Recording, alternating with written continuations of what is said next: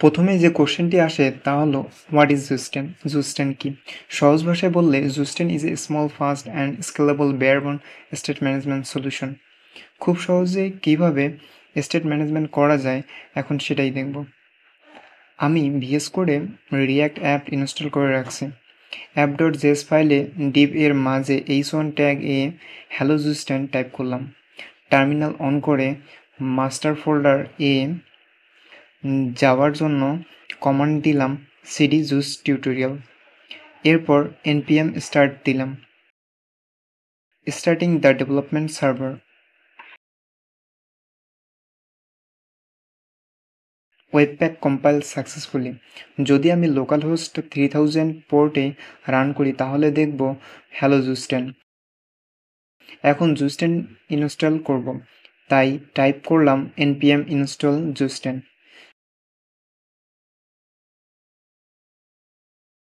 যদি আমি package dot JSON ফাইলটি ওপেন করি ডিপেন্ডেন্সিতে দেখব Zus Zustand four point three point six আপনার ক্ষেত্রে ভাষণটা আপডেট হতে পারে। এখন আমি সোর্স ফোল্ডারে নতুন একটা ফোল্ডার ক্রিয়েট করলাম স্টোর নামে। স্টোর ফোল্ডারে নিউ ফাইল অ্যাড করলাম নিউ স্টোর ডট জেএস নামে। এখানে ইম্পোর্ট করলাম ক্রিয়েট ফ্রম জুস্টেন এরপর এক্সপোর্ট করলাম const create store equal create parenthesis set arrow function curly brace count start করব জিরো থেকে। এরপর অ্যাপ ডট জিএস ফাইলে আসলাম। এখানে use store parenthesis state arrow function console dot log parenthesis state কাউন্টাম set করব। Constant count set count equal use state parenthesis initial value zero এখানে use স্টেটকে import করব single inverted dot slash store slash new store compiled with problems, error eslint now, i want to fix it.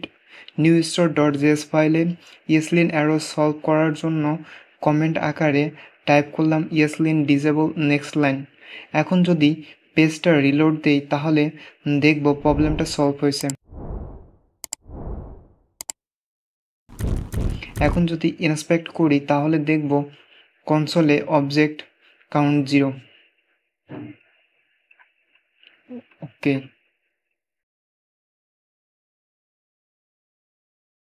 এখন যদি count এর নাম্বারটা দেখতে চাই, তাহলে নিচে একটা এইচ ওয়ান ট্যাগের মাঝে কাউন্ট নিতে পারি, আর এখানে কনস্ট্যান্ট ভেরিয়েবলে কাউন্ট এবং স্টেট এর পাশে কাউন্টটা অ্যাড করতে পারি। এখানে কাউন্টের নাম্বারটা জিরো আসছে। কারণটা হলো, আমরা যে নিউ স্টোর ডট জেস ফাইলে কাউন্টের ভ্যালু জিরো দিয়েছিলাম সেই কারণে। যদি এখানে নাম্বার ফাইভ অ্যাড করি, তাহলে কাউন্টের নাম্বার পাবো ফাইভ আবার যদি জিরো দেই, তাহলে জিরো শো করবে।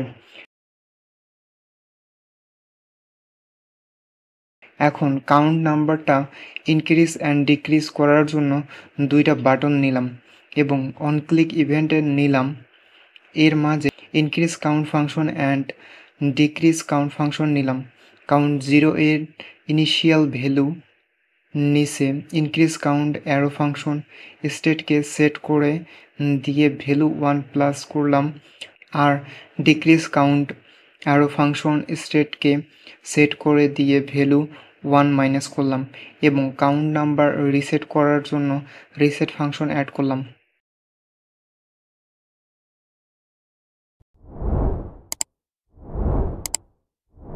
অ্যাপ ডট জেস ফাইলে ইনক্রিজ কাউন্ট কনস্ট্যান্ট ভেরিয়েবলে স্টেট এ ইনক্রিজ কাউন্ট অ্যাড করলাম। একইভাবে ডিক্রিজ কাউন্ট কনস্ট্যান্ট ভেরিয়েবলে স্টেটে ডিক্রিজ কাউন্ট অ্যাড করলাম।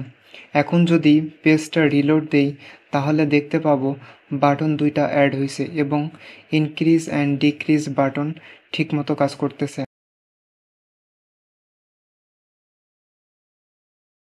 আসেন অ্যাপ ডট সিএসএস ফাইলে বাটনটা হালকা একটু স্টাইল করে নিই। মার্জিন দিলাম, ten pixel for all sides, left, right, top, bottom. Okay, বাটনের মাঝে স্পেস আসছে এবং increase and decrease button perfectly কাজ করতেছে। আপনি চাইলে স্টোর থেকে ফেস করতে পারেন। এর জন্য এটাকে ডুপ্লিকেট করে এখানে দিলাম স্টেট এবং কনস্ট্যান্ট নিলাম। স্টেট কাউন্ট এখন যদি স্টেট কাউন্টকে কনসোল লক করি,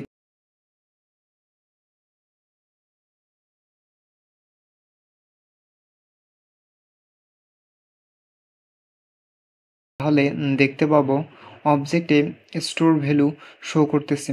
Decrease count increase count count reset count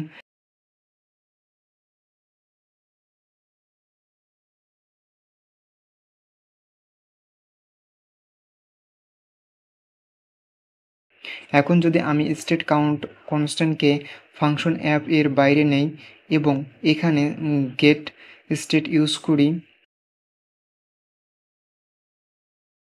inspect করলে দেখব ইন্সপেক্ট করলে দেখব এখানে কাউন্ট জিরো আমরা চাইলে ইউজ স্টোরে সাবস্ক্রাইব মেথড ব্যবহার করে কনসোল লগে লিসেনার প্রিন্ট করতে পারি। এখন ইনক্রিজ বাটনে ক্লিক করলাম কনসোলে কনসোলে দেখাচ্ছে সাবস্ক্রাইব ওকে আমরা চাইলে রিয়াক্ট কম্পোনেন্ট এর বাইরেও সেট স্টেট এর ভ্যালু অ্যাসাইন করতে পারি। এখানে ইনিশিয়াল ভ্যালু ফিফটি দিলাম। কনসোল ক্লিয়ার করলাম। ইনক্রিজ বাটনে ক্লিক করলাম। ইউ ক্যান সি সাবস্ক্রাইব আমি পেজটা রিলোড দিলাম। এর নিচে একটা বাটন নিলাম রিসেট এর জন্য। রিসেট কাউন্টে সেট কাউন্ট এর ভ্যালু জিরো করে দিয়েছি। অন ক্লিক এ নিলাম রিসেট কাউন্ট এখানে দিলাম রিসেট কনস্ট্যান্ট অ্যাড করলাম রিসেট কাউন্ট এখানে দিব state dot reset count okay let's check it out. Reset 0 increase working decrease working. Thanks for watching. Please like comment and subscribe my youtube channel.